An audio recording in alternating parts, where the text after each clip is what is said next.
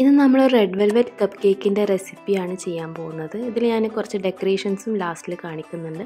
അപ്പോൾ ആദ്യം കപ്പ് കേക്കിന്റെ റെസിപ്പിയിലോട്ട് പോകാം. ഞാനിവിടെ ഒന്നേകാൽ കപ്പ് മൈദയാണ് എടുത്തിട്ടുള്ളത്. ഒന്നര ടേബിൾ സ്പൂൺ കൊക്കോ പൗഡറും ആഡ് ചെയ്തിട്ടുണ്ട്. പിന്നെ ഒരു ഹാഫ് ടീസ്പൂൺ ബേക്കിംഗ് സോഡ ഒരു ഹാഫ് ടീസ്പൂൺ ഉപ്പ്. ഇതെല്ലാം കൂടെ നന്നായിട്ടൊന്ന് മിക്സ് ചെയ്ത് ഒരു മൂന്ന് പ്രാവശ്യമെങ്കിലും ഒന്ന് അരിച്ചെടുക്കാം.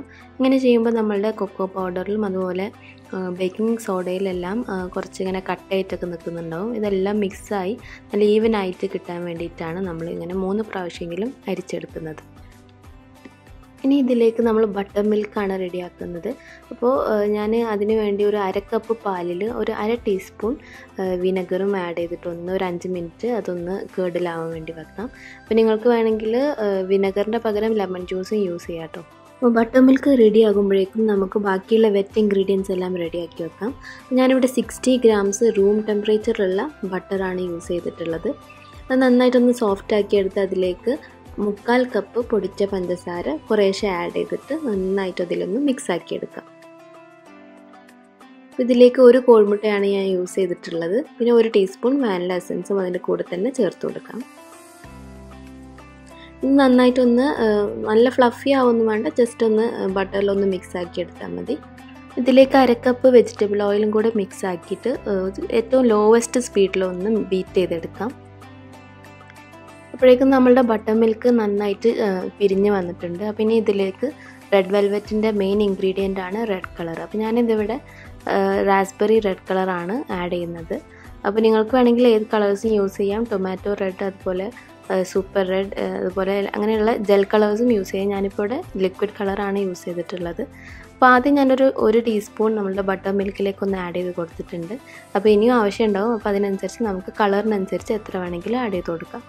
ഇനി നമ്മളുടെ വെറ്റ് ഇൻഗ്രീഡിയൻസിലേക്ക് ബട്ടർ മിൽക്കും അതുപോലെ നമ്മളുടെ ഡ്രൈ ഇൻഗ്രീഡിയൻസും കൂടെ മിക്സ് ചെയ്തെടുക്കാം. അതൊന്ന് ഫോൾഡ് ചെയ്തെടുത്താൽ മതി.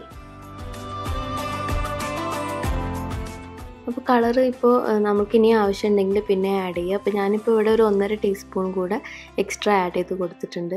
അപ്പോൾ കളറിന് അങ്ങനെ പ്രത്യേകിച്ച് മെഷർമെന്റ് ഒന്നുമില്ല. അപ്പോൾ നമുക്ക് എത്രയാണ് കളർ വേണ്ടത് അത്രയും ആഡ് ചെയ്ത് കൊടുക്കാം. അപ്പോൾ നമ്മളുടെ ബാറ്റർ റെഡി ആയിട്ടുണ്ട്. അപ്പോൾ അതൊരു പൈപ്പിംഗ് ബാഗിലേക്ക് ഫില്ല് ചെയ്തിട്ട് നമ്മളുടെ പേപ്പർ കപ്സിലേക്ക് ട്രാൻസ്ഫർ ചെയ്ത് കൊടുക്കാം. ഞാൻ ഓവൺ ഒരു വൺ എയ്റ്റി ഡിഗ്രി സെൽഷ്യസിൽ ടെൻ മിനിറ്റ്സ് പ്രീ ഹീറ്റ് ചെയ്ത് വെച്ചിട്ടുണ്ട്. ഇനി ഇതൊരു ഫിഫ്റ്റീൻ ടു ട്വന്റി മിനിറ്റ്സ് ഒന്ന് ബേക്ക് ചെയ്തെടുക്കാം. നമ്മുടെ കപ്പ് കേക്ക്സ് എല്ലാം നല്ല സോഫ്റ്റ് ആയിട്ട് ബേക്കായി വന്നിട്ടുണ്ട്. ഇനി ഇതിന്റെ മേലെ ഞാൻ കുറച്ച് ഫോണ്ടും ഡെക്കറേഷൻസ് ചെയ്യുന്നുണ്ട്. അപ്പോൾ ഇത് ആക്ച്വലി ഒരു ഫാദേഴ്സ് ഡേന്റെ അന്ന് കിട്ടിയൊരു ഓർഡറാണ് അപ്പോൾ അതിന്റെ കുറച്ച് ടോപ്പേഴ്സാണ് ഇനി ചെയ്യുന്നത്.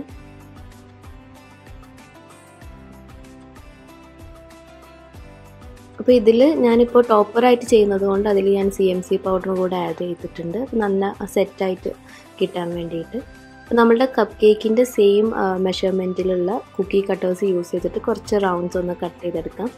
ബാക്കി നമ്മളുടെ ഇഷ്ടത്തിനനുസരിച്ച് കസ്റ്റമേഴ്സ് പറയുന്ന പോലെയുള്ള ഡിസൈൻസ് എല്ലാം ചെയ്തെടുക്കാമെന്ന് വെച്ച് കപ്പ് കേക്ക് നമ്മൾ ഫോണ്ടന്റ് വെച്ച് കവർ ചെയ്യുന്നുണ്ടെങ്കിൽ അതിൽ നമ്മൾ C M C powder add ചെയ്യേണ്ട ആവശ്യമില്ല.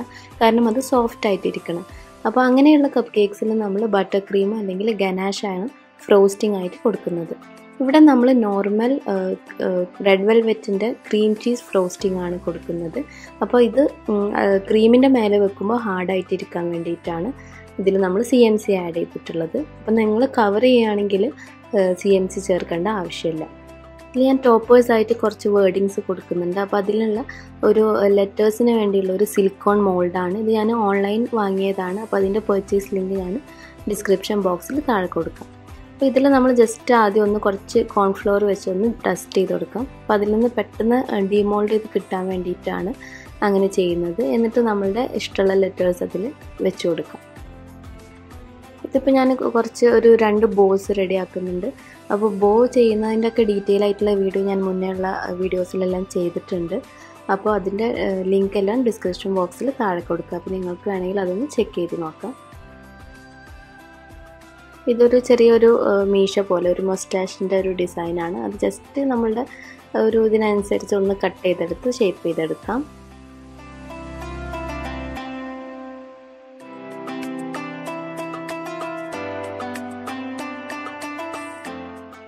നമ്മുടെ ലെറ്റേഴ്സും അതുപോലെ ഡിസൈൻസ് എല്ലാം ഞാനിപ്പോൾ ഇവിടെ കുറച്ച് എഡിബിൾ ഗ്ലൂ വെച്ചിട്ടാണ് ഒട്ടിച്ചെടുക്കുന്നത്.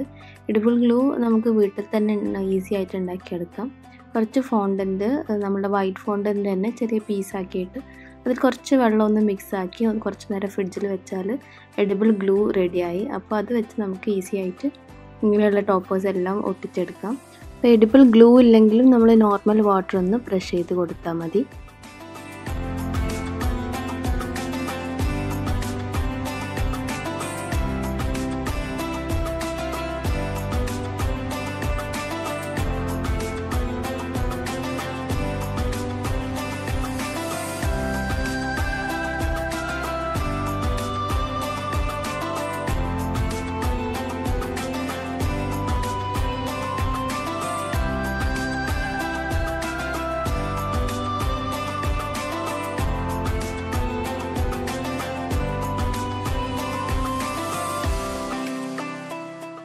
അപ്പോൾ നമ്മളുടെ എല്ലാ ടോപ്പേഴ്സും റെഡി ആയിട്ടുണ്ട്. ഇനി ഞാൻ നേരത്തെ പറഞ്ഞ പോലെ ഇതിൽ നമ്മൾ ക്രീം ചീസ് ഫ്രോസ്റ്റിംഗ് ആണ് കൊടുക്കുന്നത്. അതായത് നമ്മളുടെ വിപ്പിംഗ് ക്രീമിൽ കുറച്ച് ക്രീം ചീസും കൂടെ ആഡ് ചെയ്തിട്ടൊന്ന് ബീറ്റ് ചെയ്തെടുത്താൽ മതി. അപ്പോൾ അതിന്റെയൊക്കെ ഡീറ്റെയിൽഡ് വീഡിയോസ് ഞാൻ ഇനി റെഡ് വെൽവെറ്റ് കേക്ക് ചെയ്യുമ്പോൾ അതിൽ ഞാൻ ഇൻഷാല്ല കാണിക്കാം. അപ്പോൾ ക്രീം ജസ്റ്റ് ഒന്ന് ഒരു സ്റ്റാർ നോസിൽ വെച്ചൊന്ന് പൈപ്പ് ചെയ്ത് കൊടുത്ത് നമ്മളുടെ ടോപ്പേഴ്സ് എല്ലാം ഇതിന്റെ മേലെ ഒന്ന് ജസ്റ്റ് പ്ലേസ് ചെയ്ത് കൊടുത്താൽ മതി. നമ്മളുടെ തീം കപ്പ് കേക്ക്സ് എല്ലാം റെഡി ആയിട്ടുണ്ട്.